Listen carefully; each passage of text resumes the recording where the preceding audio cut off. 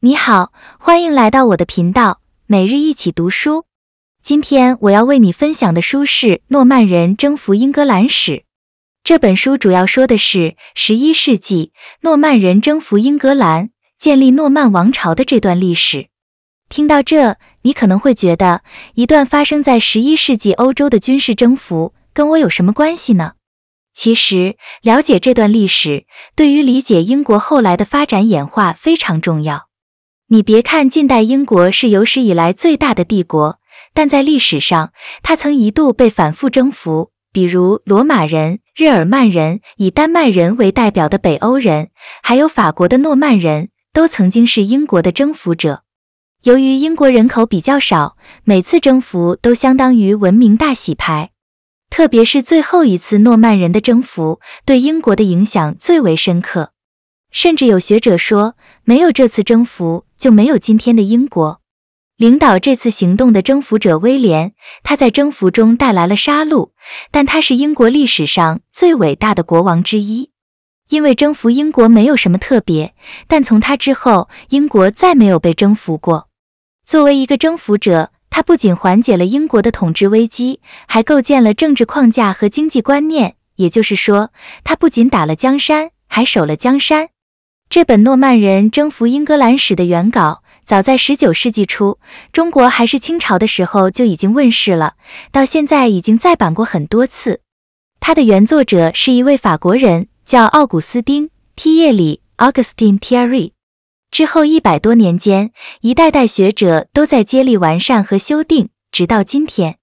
这都说明了诺曼征服这个历史事件的重要性，以及这部作品的高价值。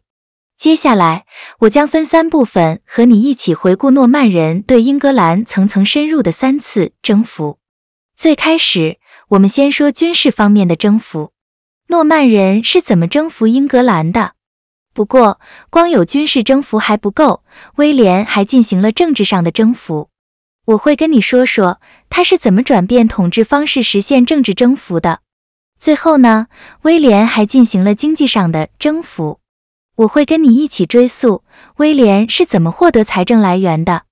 第一部分，好，下面就进入第一部分。我们要谈的是诺曼人对英格兰进行的军事征服。先来介绍一下交战双方：诺曼人与英格兰人。诺曼人是北欧维京人的一支，诺曼的意思就是北方人。他们本来居住在北欧地区，十至十一世纪，也就是中国的五代和北宋时期，诺曼人的一支征服了今天法国西北部的大片地区，并将这个地方称作诺曼底，意思是诺曼人的土地。迫于武力，法国国王授予诺曼人首领公爵头衔，同时做个顺水人情，把诺曼底授予诺曼公爵作为封地。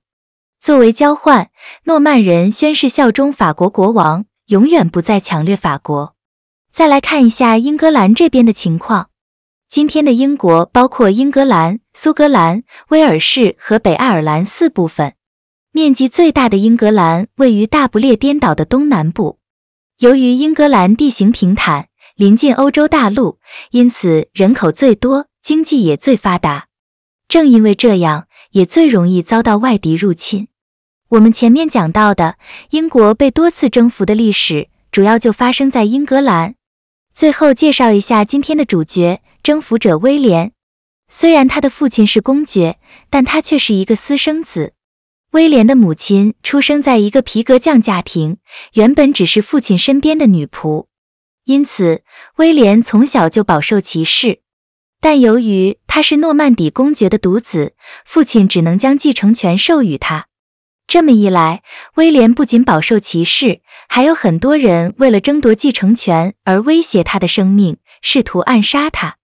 甚至在威廉继承爵位后，人们仍然对他指指点点，私底下把他称作杂种威廉。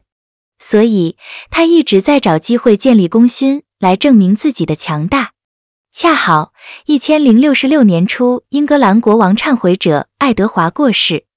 由于他死后没有子嗣，国内立刻陷入了王位争夺中。大贵族哈罗德近水楼台，被推选为国王。不过很快就有人提出异议：英格兰曾经被北欧人统治过，这次挪威国王就表达了对王位的诉求。他声称自己获得了爱德华的许诺，日后要继承英格兰王位。而威廉认为自己也有继承权，因为威廉的爷爷和爱德华的母亲是兄妹。这个关系连重视亲缘的中国人都觉得有点远。但是面对着英格兰王位的诱惑，威廉无论如何也要拼一把。不过，只靠这么微弱的血缘关系还是不够。威廉又提出两个理由：第一，早年忏悔者爱德华曾经流亡诺曼底，当时诺曼底公爵好吃好喝招待过，还帮他回国复位。由于这份恩情，爱德华发誓日后获得王位一定要传给他。当然，是否有这样的允诺，已经无从考证。不过，即使有这样的事情，也没有什么奇怪的。爱德华四处允诺要传位于人，这既不是炫耀，也不是信口开河。这其实是中世纪的时候，贵族为了获得广泛支持而普遍采用的外交辞令。说的人不在意，听的人也不必当真。威廉提出能够继承王位的第二点理由是，他也有恩于现在霸占王位的哈罗德。当初哈罗德遭遇海难，威廉出手相救，还册封他为骑士。感恩戴德的哈罗德朝着圣徒的骸骨宣誓效忠，但现在哈罗德竟然恩将仇报，窃取了原本属于威廉的王位，是可忍孰不可忍。为了强化这次讨伐的合法性，威廉还争取了罗马教宗以及神圣罗马帝国皇帝的支持。面对来势汹汹的诺曼底公爵，英国国王哈罗德在英格兰南部海岸集结军力，准备应战。但是由于英吉利海峡持续刮了八个月的大风，威廉不得不推迟他的渡海计划。不过，这对于威廉其实是个好事，因为他会有足够的时间集结更多盟友，还能消磨英军的意志。哈罗德左等右等，眼看对岸军力不断强大，越来越着急。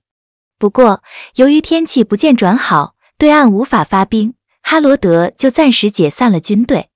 可是没过多久，哈罗德就得知挪威国王带兵从东部海岸来犯，于是哈罗德只好重新召集士兵赶去迎战。正是借着这个空档，威廉率领诺曼人在没有任何阻挡的情况下就登陆了英格兰南岸。到一千零六十六年秋，诺曼人已经在一个叫黑斯廷斯的地方建起了防御工事，等待哈罗德从北方返回。而哈罗德这边刚刚应付完挪威军队，还来不及休整，就得马不停蹄花五天时间跋涉四百多公里赶到黑斯廷斯，准备迎战下一个王位竞争者。我们来看一下双方的备战情况。哈罗德的军队有八千多人，以步兵为主，配有少量弓箭手，他们大多是正规军，其中一些是较为精锐的国王卫队，此外还有临时征集的农民士兵。英军占据了黑斯廷斯附近的一座山丘，整个军队沿山脊布阵，居高临下。不过需要注意，由于英军刚和挪威人打完一仗，这时的士兵已经相当疲惫了。再看诺曼人这边，威廉的军队要比英军多一些，有一万人左右。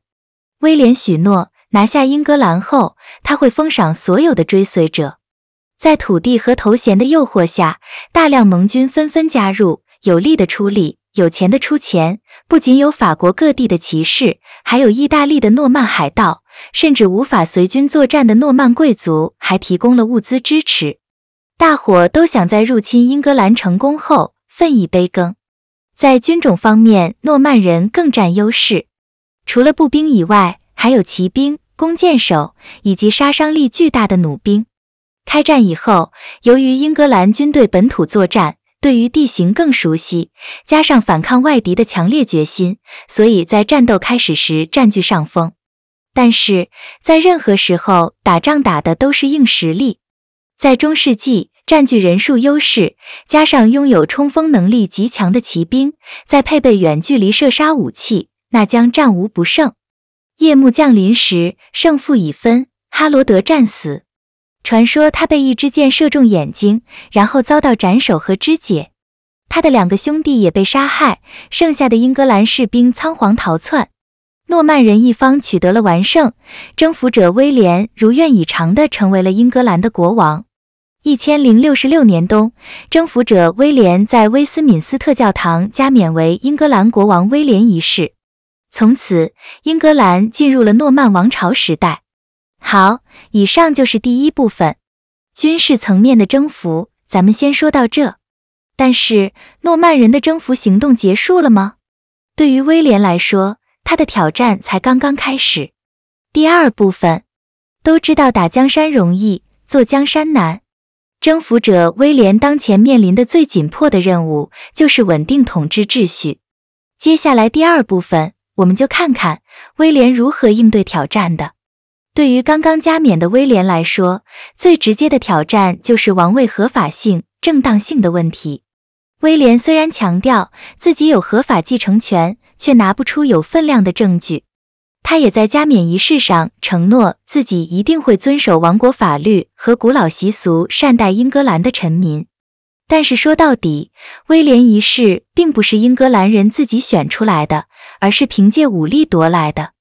因此，不管场面话怎么讲，在具体的行动上，威廉绝不含糊，只要胆敢反抗，格杀勿论。威廉一世的铁腕统治，把英格兰人推向了灾难的深渊。当初穿着倾斜布袜的诺曼骑士，到现在可以挥舞着长剑，要求英格兰人交出财宝，可以逼迫英格兰男人成为苦力，把英格兰女人变成玩物。诺曼士兵甚至跑去教堂杀害躲避战争的英国民众，顺便把教会的财富抢夺一空。与此同时，英格兰很多地方都在发生着饥荒。人们甚至连死马也吃，马肉被抢光以后，他们开始吞食人肉。无数的英格兰人惨死在道路旁、广场上、教堂门口，到处都能看到蚊虫在侵蚀尸体。在这种情况下，英格兰不可能不反抗。其中，北方地区的反抗最强烈。为了赶跑诺曼人，他们甚至联合北欧人一起行动。要知道，北欧人可一直都是劫掠英格兰的常客。到后来，连当初为威廉加冕的大主教也非常愤怒。他说：“您用沾满鲜血的双手接过了英格兰，我曾经为您加冕，但是现在我要诅咒您和您的民族。这是您应得的，因为您背叛了上帝。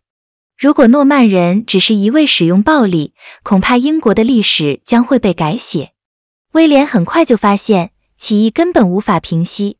当初跟随威廉来到英格兰的诺曼人只有区区两千人，而当时英格兰的人口已经多达百万。长此以往，诺曼人只能灰溜溜滚回大陆。他又尝试采取刚柔相济的做法，在继续严厉镇压的同时，对各个占领区开展安抚工作。另外，威廉一世也在整肃军队。他严禁诺曼人随意屠杀抢掠，并且惩处了个别飞扬跋扈的官员，以平民怨。但这些做法都收效甚微，下层民众认为他是个侵略者，上层贵族更加现实，他们觉得即使臣服于威廉，自己的利益仍然得不到保障，那为啥要支持你呢？眼看着政权岌岌可危，威廉一世不得不尝试从另一方面进行突破，也就是国家的政治架构方面。关于中世纪欧洲封建制，你可能听说过一句名言：“我的附庸的附庸不是我的附庸。”意思是封建契约的效力仅限于签约双方，更高一级的封君不能越级指挥更低一级的封臣。当时西欧的贵族爵位大致可以分为五等，从上到下依次是公爵、侯爵、伯爵、子爵以及男爵。公爵之上是国王，男爵之下还有普通骑士。对于国王而言，除了自己直接控制的一部分封土，剩下全国各地都是由大贵族直接占有的，所以中世纪国王的权力非常有限。不过，威廉一世打破了这个规则。为了能够强化对地方的掌控，他在保证自己占有最广大直接领土的前提下，将英格兰剩余的土地直接分封给多位伯爵。这里既有当初和自己一同征服英格兰的盟友，还有归顺自己的本土贵族，借这个机会拉拢各方力量。这样一来，多层级的爵位制被打破，通过比较扁平化的贵族结构，威廉就可以更便捷地控制全国。这对于英格兰的稳定来说，既紧急又必要。这种以伯爵封地为主体的封建体制，从此一直贯穿了英格兰的整个历史。英国贵族主要分为伯爵和男爵两级，分别代表着上层贵族和下层贵族。虽然后来出现了个别公爵，大多是王族子嗣，这对于英国近代以前的政治框架影响不大。不过这还不够。威廉只是跟部分上层贵族分享了统治权，但是英格兰的其他群体仍然被排除在外。于是，威廉在他加冕的第四年，召集贵族、乡绅和法学家开会，同时从各郡选派出十二名代表一同参加，组成了大议事会 （Great Council）。在这里说明一下，前面提到的郡就类似于中国的地级市，是一个基础的行政单位。这个举动对于当时的威廉来说，只是个应对时事的被迫之举，但这却开启了王权与贵族的正式协商关系。这种协商模式至今仍然是英国政治的重要传统。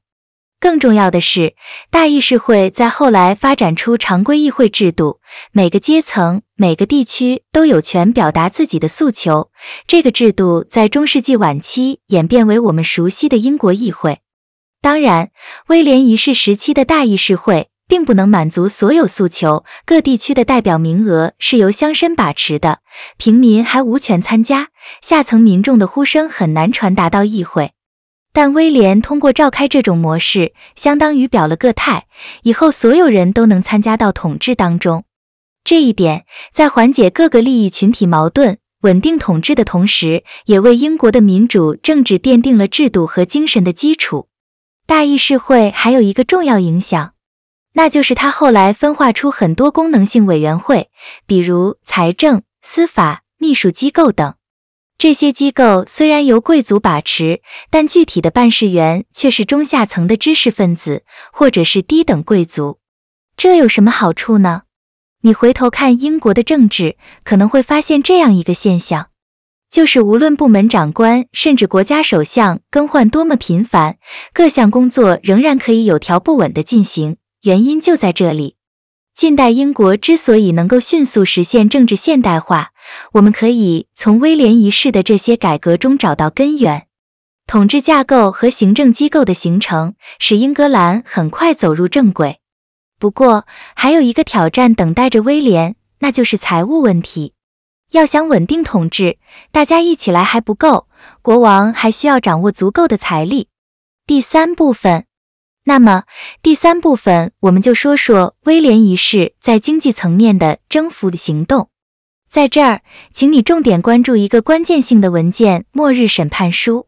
今天，英国的经济观念和司法精神都来源于这份一千年前的古老文件。为了更好地管理国家，威廉一世搭建好统治框架后，开始对英格兰展开全国性的土地和户籍普查，目的是稳定王室的财源，进一步控制全国。不过，贵族肯定不乐意，因为清查土地以后，富有的贵族会更容易被国王提防，甚至还会以防止谋反为名遭到压制。而且暴露了财产信息，意味着自己要给国王上缴更多的支柱金。